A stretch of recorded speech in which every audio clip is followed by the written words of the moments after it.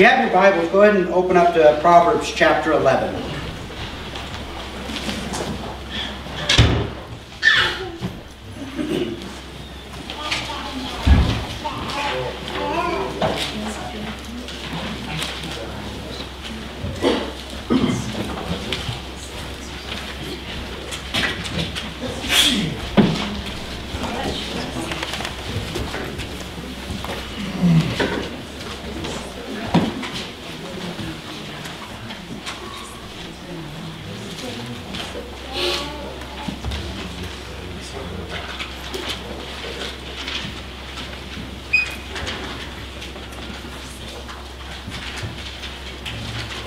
So we are in the midst of a series on money.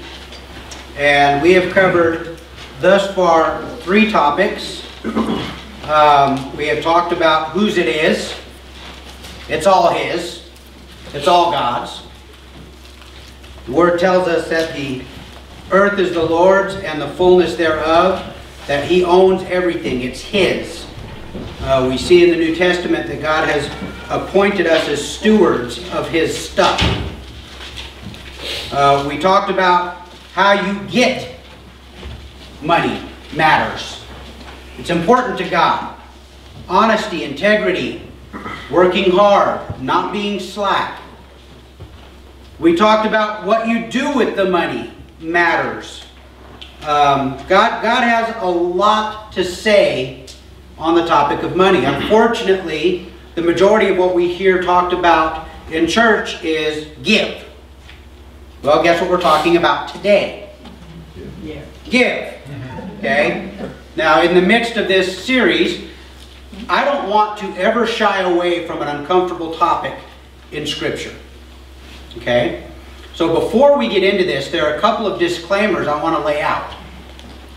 First, I have no idea what you give.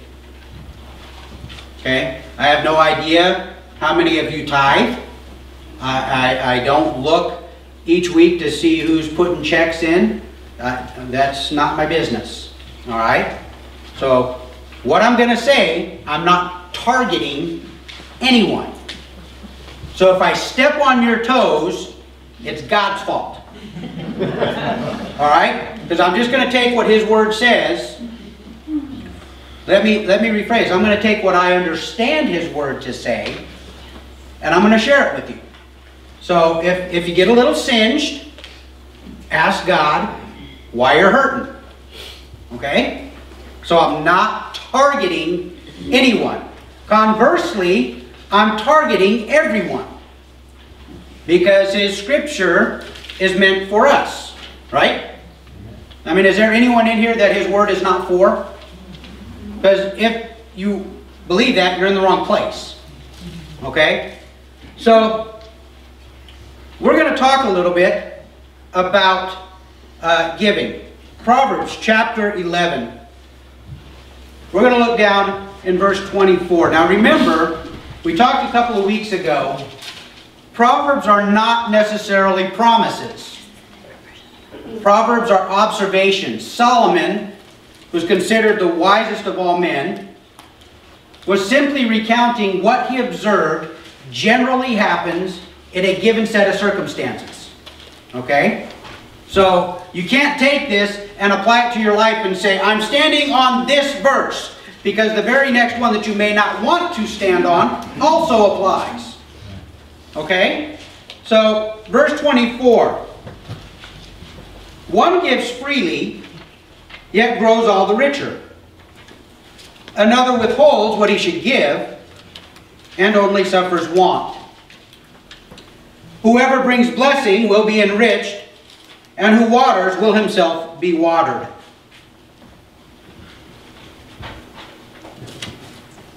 Now, I told you guys that the, the genesis of this series was, was I listened to a series by James MacDonald, and, and I, I'm going to share with you right now this one section. I'm deviating quite a bit from some of the things that he said because he and I have different opinions about the interpretation of Scripture. Okay? But I, I want to share with you some principles about giving that you may or may not know. All right? So, first, in verse 24, one gives freely yet grows all the richer. Generous giving leads to abundance. You see that? Now he's observing this. This is what he sees happening. He sees that one who keeps his hand open has his hand available to receive, but one who keeps his hand closed cannot receive. Okay? The way you can look at it is this. You can look at your life as a freshwater spring, or you can look at your life as a stagnant pond. If you are a fresh flowing spring, the water is continually moving. And as it comes in and as it goes out, as it goes out, more comes in. It's a continual flow. And that water is refreshing. And it's a blessing. But if you only allow the water to come in and you don't let it go anywhere, what happens? Stagnates. Gets nasty stuff growing all over it. It stinks. The only way to fix that is to get the water to flow out as well. And so I want you to consider, are you a fresh flowing spring or are you more of a stinky, stagnant pond? When we first started talking about money, I told you that it was a test. This right here is one of the biggest tests in our lives. Last couple of weeks we looked at the passage in Luke 16 about the, the uh, dishonest manager. And we got down to the end of it and Jesus is telling this parable and he says, You cannot serve two masters.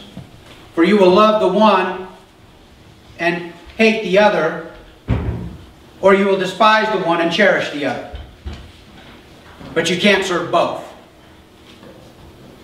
And I would put to you today that how you deal with what God gives you is more a revelation of your heart than how loud you sing, how well you dress, how many scriptures you can quote. I would put to you today that if you really have God on the throne of your heart, money's not as important to you. Now, I'm not saying money is not important. We all understand that you have bills to pay. Sometimes we foolishly have bills to pay. Okay? I've never seen a people so eager to become slaves. Because his word tells us that the debtor is slave to the creditor.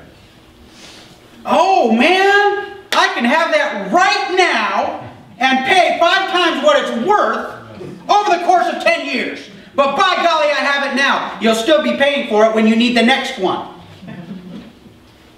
But we want that. We think that's good.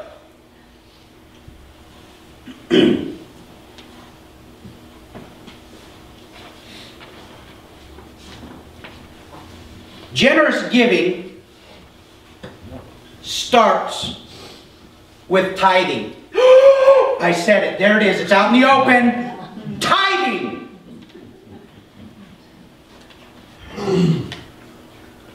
Some people think that's one of them churchy curse words.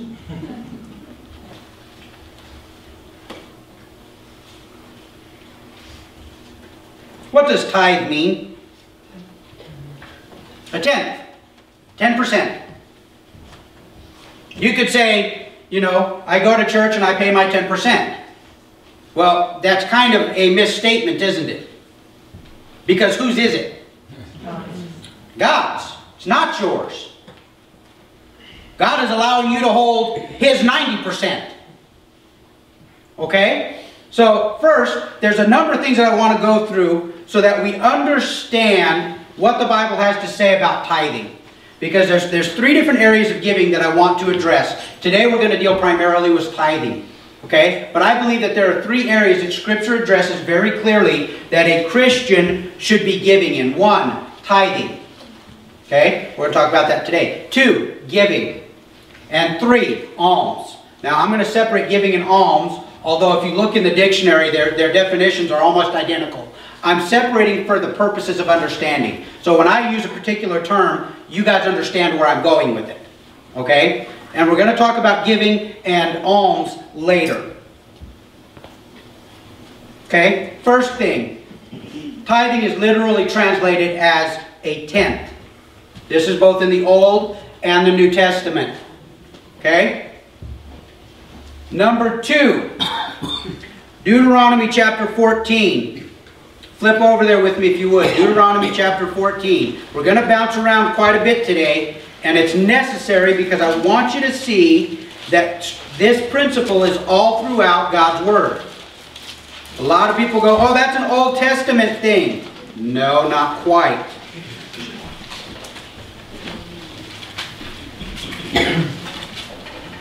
Deuteronomy chapter 14. I'm going to pick up in verse 22.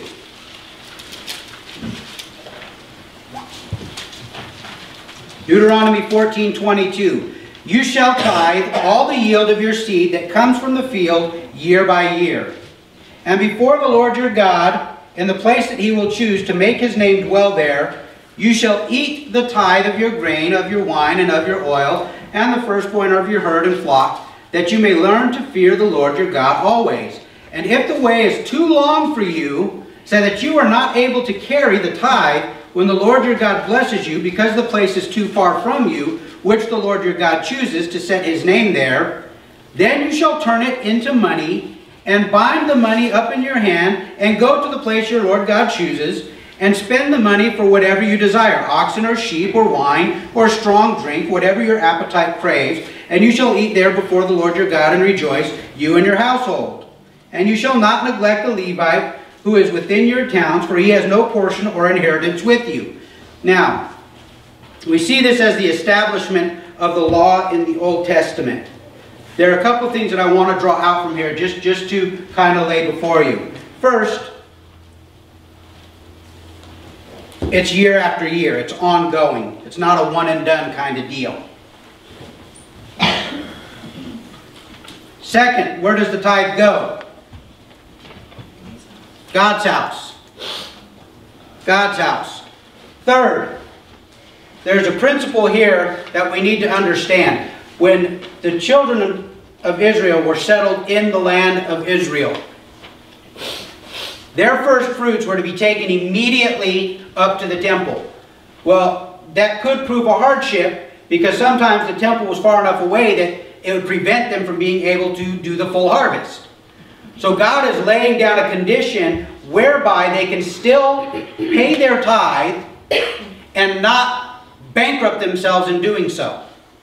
And what he's saying is you take yours, you trade it in, you sell it for coins, you take those coins and you travel up to Jerusalem, you buy the equivalent of, of what it was, and there's your tithe, your offerings. Then at the very bottom, he adds a little, uh, an interesting phrase. He says, And you shall not neglect the Levite who is within your towns, for he has no portion or inheritance with you. What does that mean? These are the people that God has commissioned, that he has called. It's actually a very cool story. I'm going to digress for just a minute. Join me on this rabbit trail. When God delivered Israel out of Egypt, he did so at the cost of every firstborn Egyptian. Okay? But that cost needed to be paid back by the Jews. God required of them because he took the life of every firstborn from Egypt. He required of the Jews every firstborn to be given to him as his. Okay? That was people, flocks, herds, all the firstborn was his. And then when they came to the actually settling this out, how this would be determined, God chose the tribe of Levi to be the replacement for all of those firstborn. Okay? And, and when they did the numbering, they did the census, they found out that the tribe of Levi did not have sufficient firstborn males to cover all of the rest of them. So the tribes had to come together and they had to pay the difference to make up the amount. And that money was put into the pool for the use for the tabernacle. Okay, God is very specific in how he does his accounting. Very specific. Okay? Much more so than we are. God required that because the cost was the firstborn of Egypt, the firstborn of Israel would be his, but that so that he could have a group that was set unto himself. Basically, I think it's just to make it easy for the Jews. He took the tribe of Levi. And he said, These will be mine. They will have no inheritance among you. They are given towns throughout the different tribes, the different areas, but, but they were not given land parcel to them. Okay? So what God required of the children of Israel was that they would pay part of their tithes to the supplementing of the Levites, who were the workers in God's house, who took care of the tabernacle first, and then later when the tabernacle was done, they weren't moving it anymore. They reestablished them as, as the workers. They assisted the priests. He uh, established them as the, the door watch. He established them as judges throughout the land. There were a number of things that he called them to do. They were the ones that worshipped. They led the worship in the temple, that, that it never ceased, 24 hours a day. There was always worship going up to heaven. So, God is very exacting in what he says here. But if you notice, it comes off the top. And if you can't take it there right away, what do you do? He says, you go and you cash this in and you get the coins, and then you take the coins when you can and you hustle down to Jerusalem, and there you take care of paying it. Okay? So, there's another principle laid out in the Old Testament for you. Uh, Psalm 24 1. Uh, this is the symbolization that God owns everything. That's the, the verse that I quoted for you a little earlier. It's all His. So if you really believe that it's all His, then don't you think God is being really generous in giving you 90%? You say, oh man, but you don't know what I had to do to work for this 100%. No, I don't, but God does. And Scripture tells us that you would not have even been able to do that if God had not enabled you to do so. So, it symbolizes God's ownership of everything. Proverbs chapter 3. I'm going to flip over there. This is right after um, a, a passage that we quote all the time. Everybody remembers, trust in the Lord with all your heart. Do not lean under your own understandings. In all your ways acknowledge Him, and He will make your, uh, your path straight. Everybody, I mean, you hear that quoted all the time, right? Okay, but look down two verses later, three verses later. Verse 9. So we're in Proverbs 3, verse 9. Honor the Lord with your wealth and with the first fruits of all your produce. Then your barns will be filled with plenty, and your vats will be bursting with wine. Now, I've heard people say, oh, that was back in the agricultural, the agrarian society, and it was the first fruits of it. No, he says your wealth. Because not everybody was a farmer even back then. People had all kinds of crafts and trades that they engaged in to make a culture that would thrive. Okay? So they had people that did things like cleaning up the refuse. You know, trashmen. You ever think about that? That in God's kingdom there were people that their job was to be the trashmen? You know, somebody had to take care of it. They had to haul the stuff off and get it burned and get it taken care of. Okay? So what were they supposed to bring? I don't think God wants 10% of your trash. Okay? So, wealth. Number five. This is one I want to spend, five and six, I actually want to spend the most of our time on today. Number one, tithing is a universal principle. Okay? It is not bound up in the law. And then when Jesus has superseded the law, we're set free from tithing. It's, that's not how it works. Does anybody remember in Scripture when the first tithe was offered?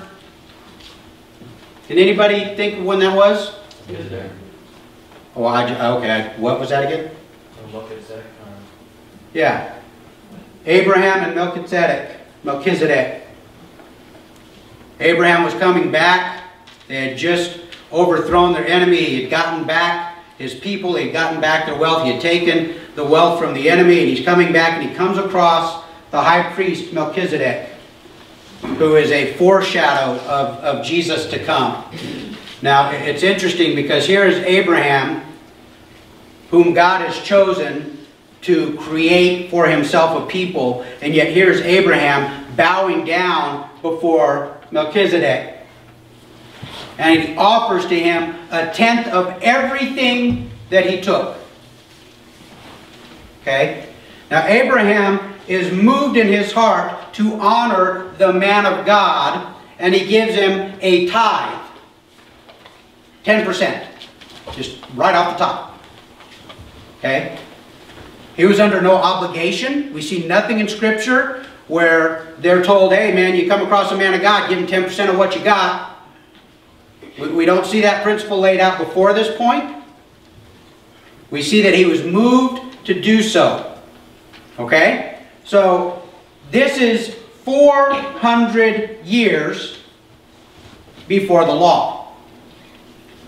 Okay? It's the same idea as the principle of the Sabbath rest. God created everything in six days. On the seventh day, He rested. He required that people would take that seventh day and rest. Okay? It's a principle. Now, when the law came along, that principle was wrought into the law. But now that we have a higher calling, that, that principle is still in effect. If you work seven days a week, you are going to forsake much of the blessing that God has for you. If you refuse to give unto God the 10% that He has desired of you, as a matter of fact, I'm going to change that word, that He has required of you, you are cutting yourself off of the blessing of God. Okay? So it is a principle that is far beyond the directive. It's the way things work. It's the way God set things up to work. For example, it may not make you happy, but I guarantee you if you have a car, you pay money to put gas in your car. Why are you so foolish as to pay money to put gas in your car? Because if you don't put gas in your car, you don't go anywhere. The way the car was designed to work is it needs some kind of energy to make it go. I had to change that because you guys got one of those weird cars. There's some of you guys in here that have those hybrid thingies. It requires energy. Okay? Now, you may not like the price of gas, but if you want the car to go, you got to do it, right? It's a principle. The designers of that automobile have designed it such that in order to go, it needs the fuel.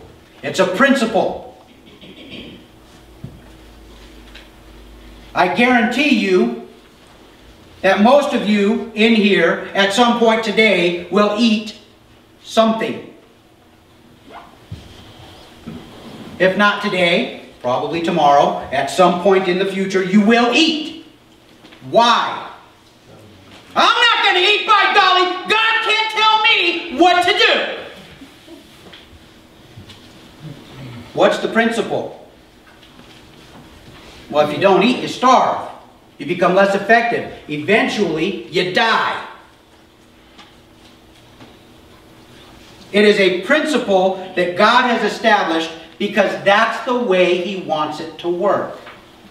Okay? I'm going to talk a little bit more about why I believe he did that here in a minute. But you have to understand first that God has desired it to work this way. All right?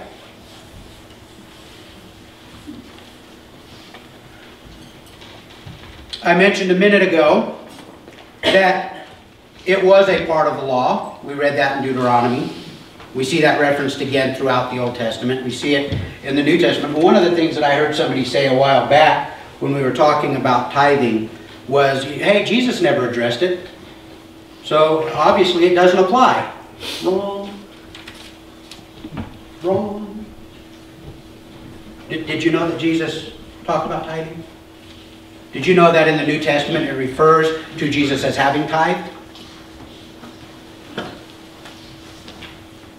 2 Corinthians chapter 5 verse 21. It says that he knew no sin. Okay? You, we understand that God sent Jesus. He was born a Jew. He was born under the law that he might fulfill the law. Okay? Now, if tithing was a matter of the law, and Jesus in no way sinned, you suppose he tithed?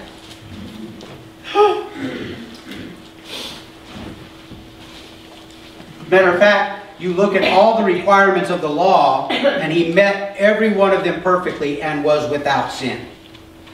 And not only did he meet the physical obligation of the law, but he met the moral obligation of the law and still did not sin. So I'm guessing he didn't grumble when he tithed. He didn't try to negotiate his way out of 10%. Now, I, am sorry, guys. I, I got to share this with you. This is a thing that I, I, have a very strong personal feeling about. I've heard other pastors say, hey, you know, if 10% is a problem, go 5%. I'm sorry. They're wrong. Nowhere in Scripture does it give us permission to rewrite the requirements of God. Nowhere. So when God says 10%, it is my firm belief that God is not asking for 4. Okay? It is my firm belief that when God asks for 10%, He wants 10%. When God tells us, you know, don't steal, He doesn't give us room for the caveat, well, in these conditions it's okay to steal. When He says don't commit adultery, He doesn't give us these ways to bend and manipulate around the law so that we can still uphold the law and still do what we want. When he says something is so, it's just so. It's just the way it is. Okay? So, when Jesus walked on the earth as a man, every year, as was required by the law, he tithed. But I'm going to go you one better. Well, you know, if that's such a big deal, how come it's never talked about? It is. if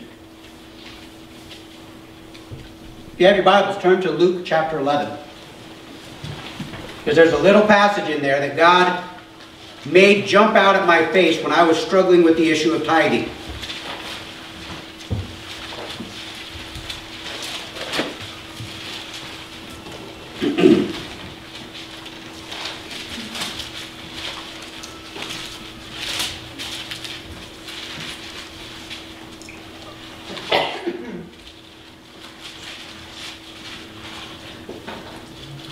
Starting in verse 37, I'm, I'm, I'm just going to kind of catch you up. We're actually going to pick up in 42. But in verse 37, um, a Pharisee comes to Jesus.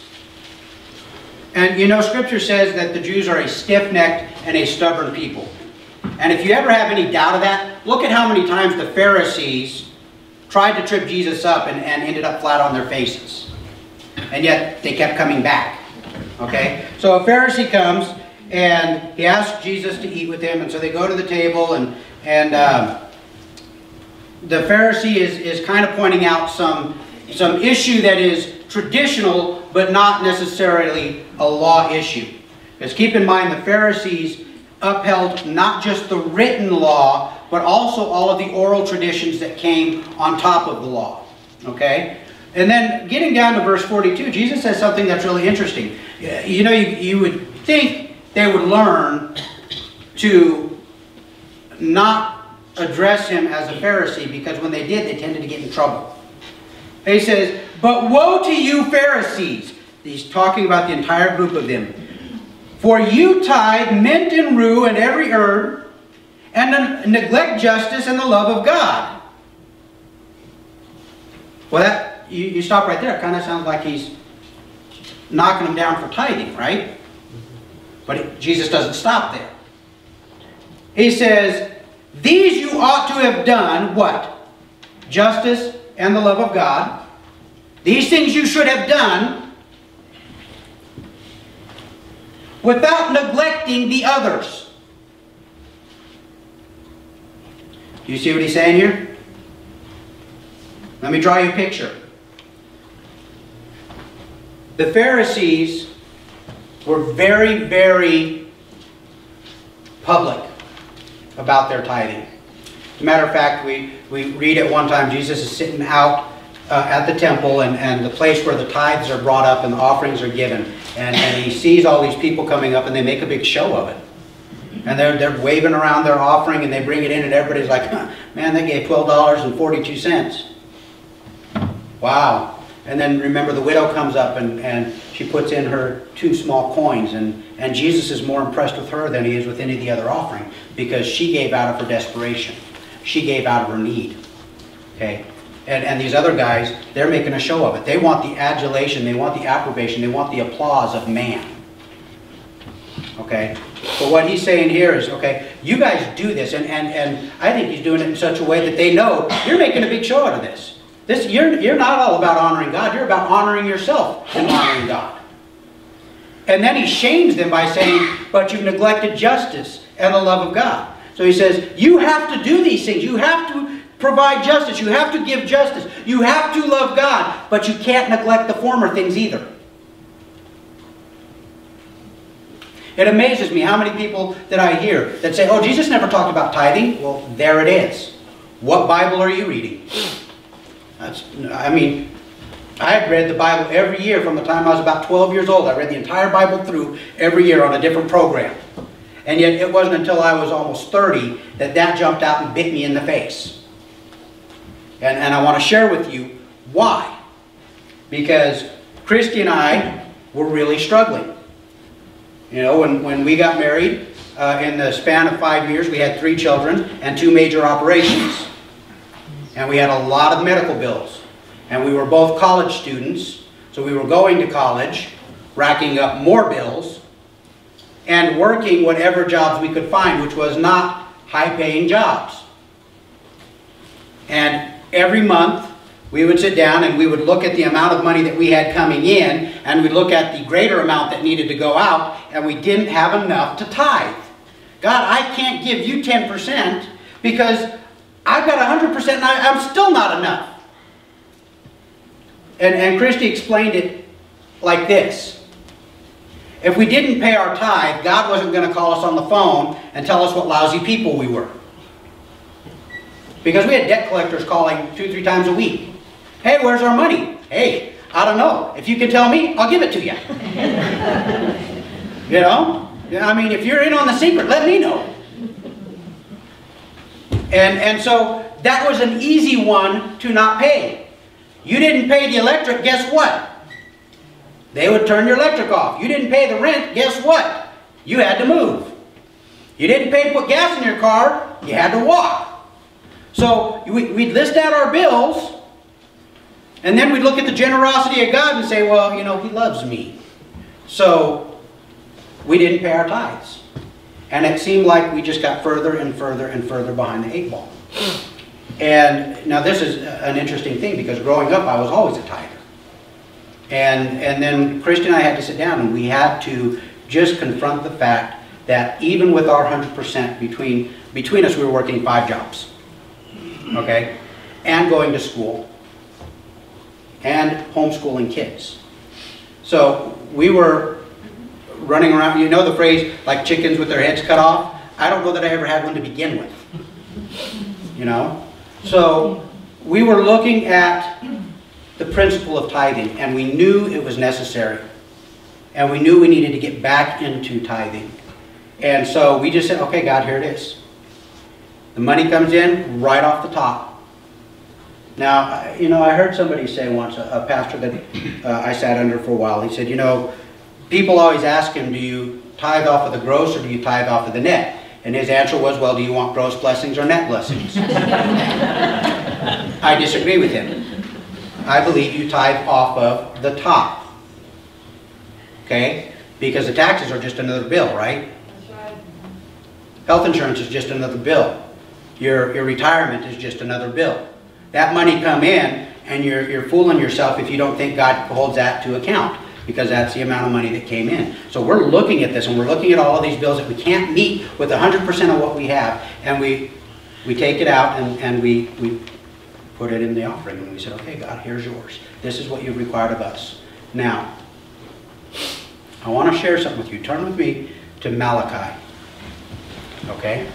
Because see, God has given us a principle that He engrafted into the law that Jesus then fulfilled. And here we sit today with the principle that still guides our money. Remember, I told you this is a test. it's a test because God wants to know do you trust Him or do you trust your bank?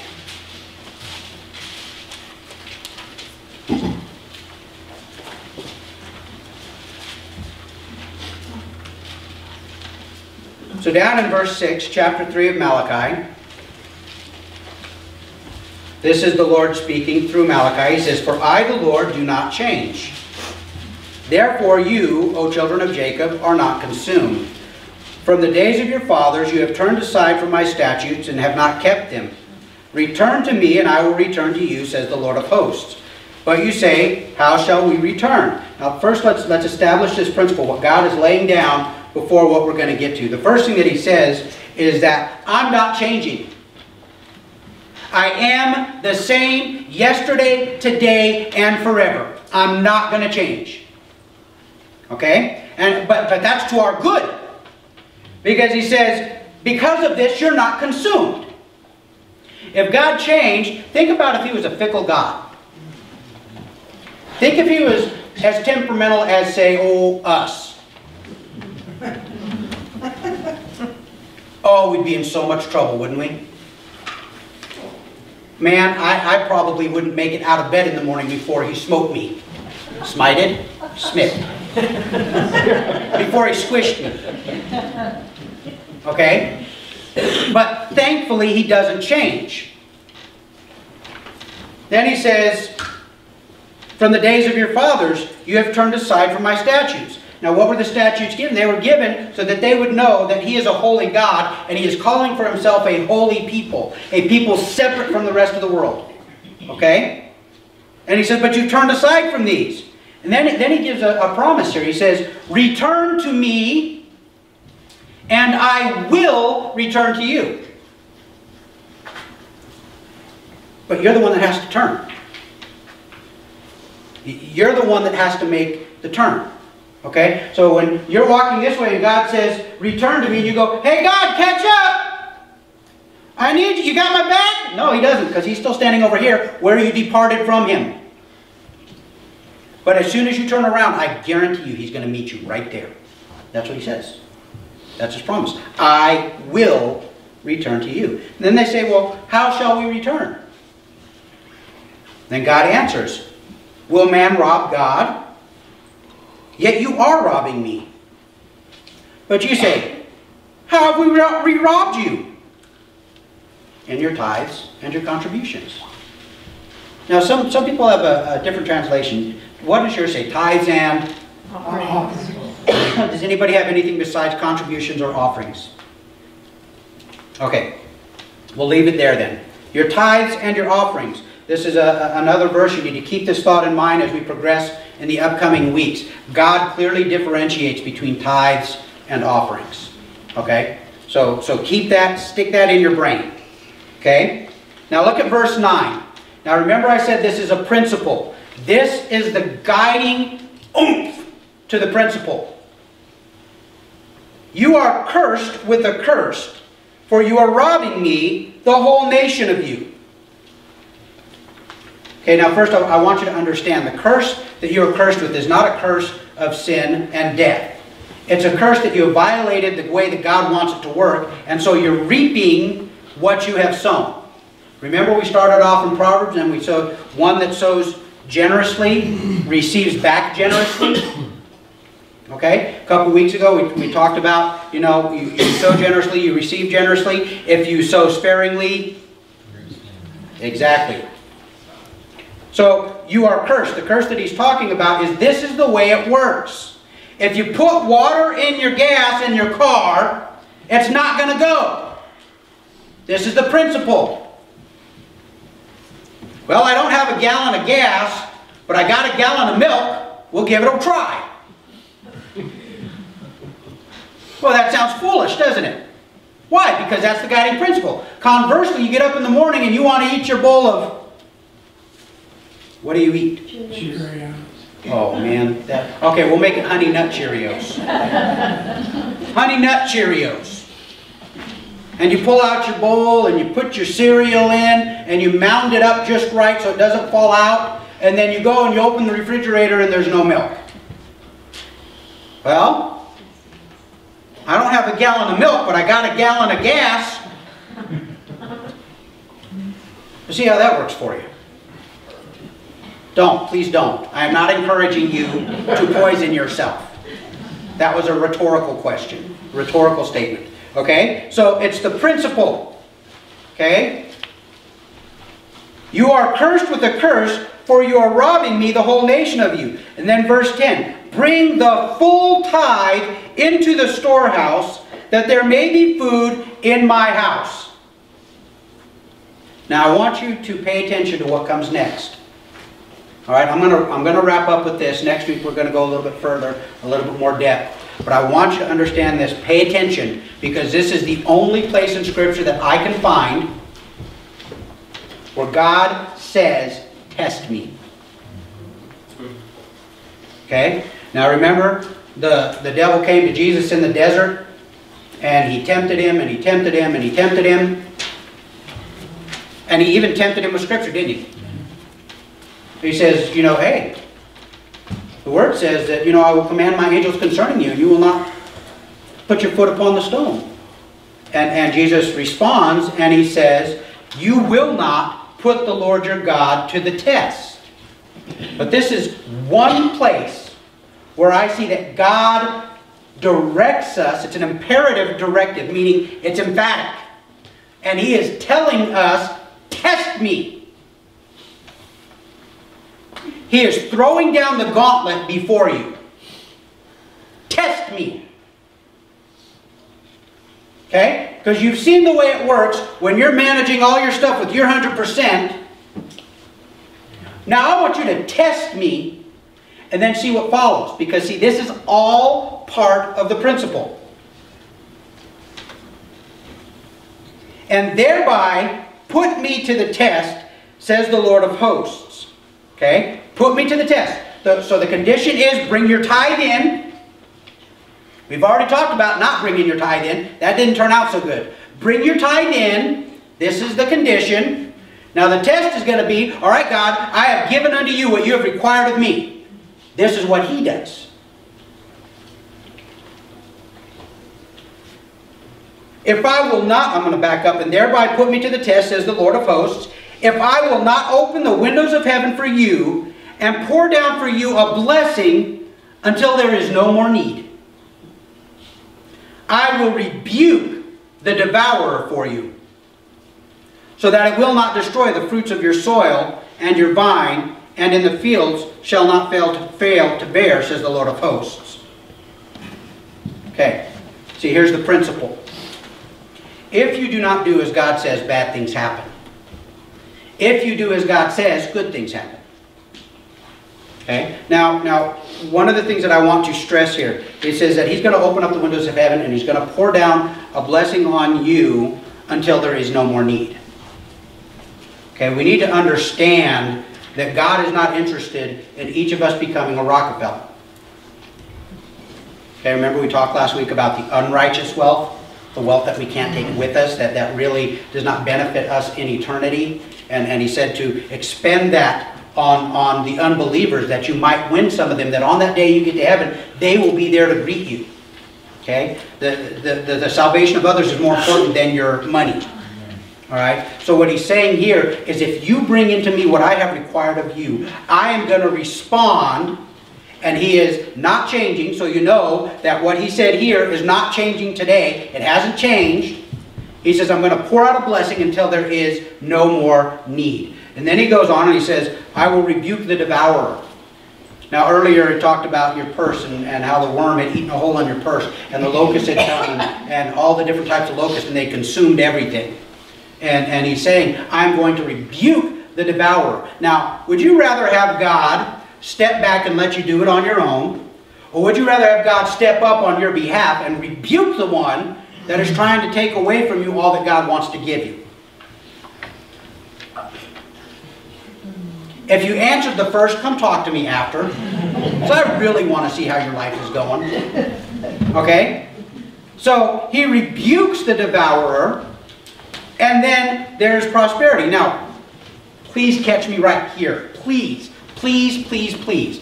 This is not a prosperity gospel. I am not asking that you give me anything. Okay? Quite honestly, I get so fed up with those yahoos on TV that tell, say, hey, send me a hundred dollars and God's going to give you a thousand. You know, if that principle really worked and you really believe that, you should send me the hundred dollars.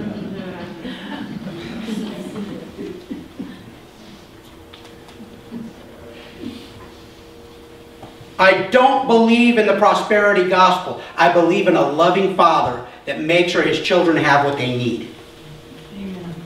Okay? Now, some of us are going to have more than others. We talked about that last week. If you are faithful in the little, he will put you over much. Some of us can handle much. Some of us can't handle little. Some of us struggle with little. Okay? So, we're out of time. Um, I want to wrap up with this, okay? Over the next probably two weeks, we're going to go through the tithing, the offering, the alms. Folks, this is a critical issue because it's so often overlooked. I'm not after your money. I'm not after your money. I'm not going to stand up here and, and say, I need your money. Okay? God has blessed this church. This church has more generosity than any church I have ever been in. I have never seen anyone walk away from this church with a need that the church did not at least attempt to meet. Most of the time, they just completely met. Okay? I'm not shaming anyone up here. I'm simply telling you what God says in His Word.